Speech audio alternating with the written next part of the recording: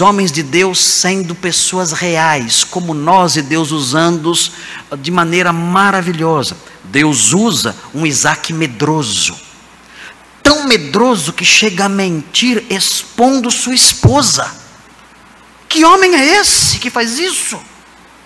Nós podemos entender um homem que mente para defender a esposa, mas estamos diante de um patriarca, de um homem que mente expondo a esposa para se defender.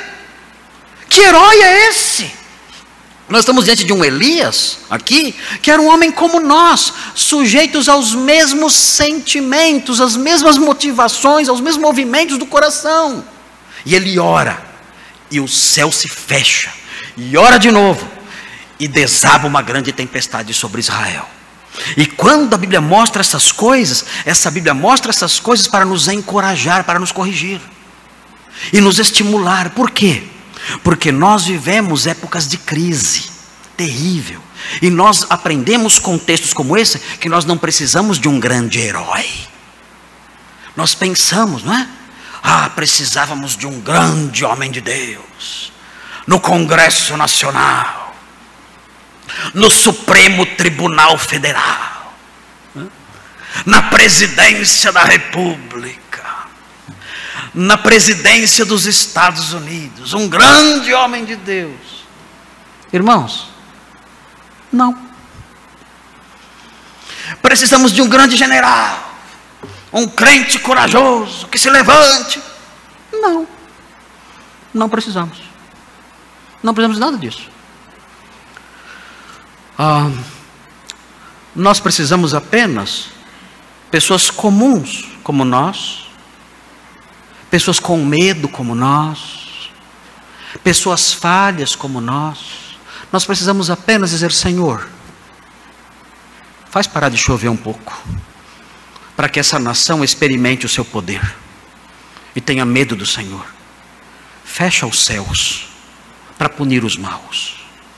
Senhor, abra os céus e abençoe essa nação, para que essa nação se alegre com a sua bênção e reconheça que só o Senhor é Deus.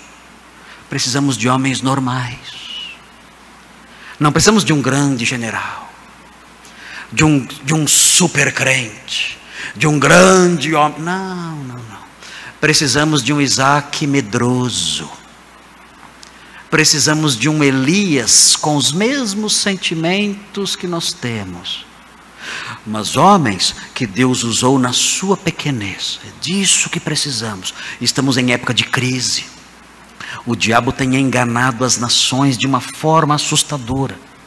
O diabo tem ensinado coisas para as pessoas e levantado mentiras que nos deixam aterrados.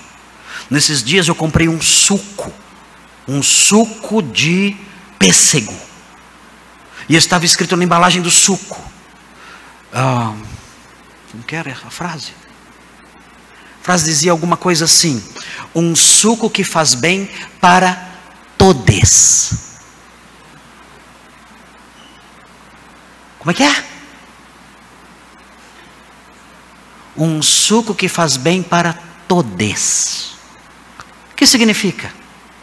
Aquele suco de pêssego um suco de pêssego, uma embalagem de suco de pêssego, ensinando que não existem distinções sexuais. Vivemos num mundo assim, crises terríveis, o diabo enganando as nações das mais variadas formas, e nós olhamos para isso e dizemos: Senhor, levanta um exército, Senhor, levanta um grande evangelista mundial.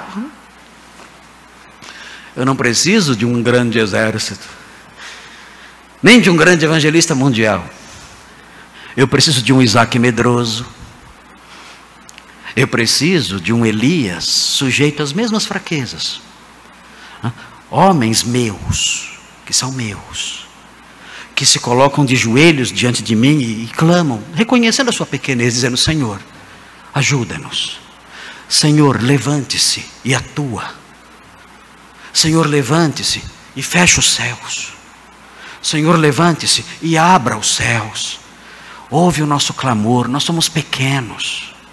Nós somos, nós somos, nós não somos homens perfeitos, somos como Isaac que o Senhor usou para trazer o Messias ao mundo, um homem com medo. Somos como Elias, sujeito, um homem sujeito às mesmas paixões que nós. Nós somos assim, não somos grandes heróis. Queremos, no entanto, que o Senhor nos use e ouça a nossa súplica e faça com que todas essas crises horríveis, esse cenário assustador, seja neutralizado pela nossa súplica, pela nossa influência, pela nossa humilde influência nesse mundo perdido. E o Senhor pode nos usar sim e mudar a história.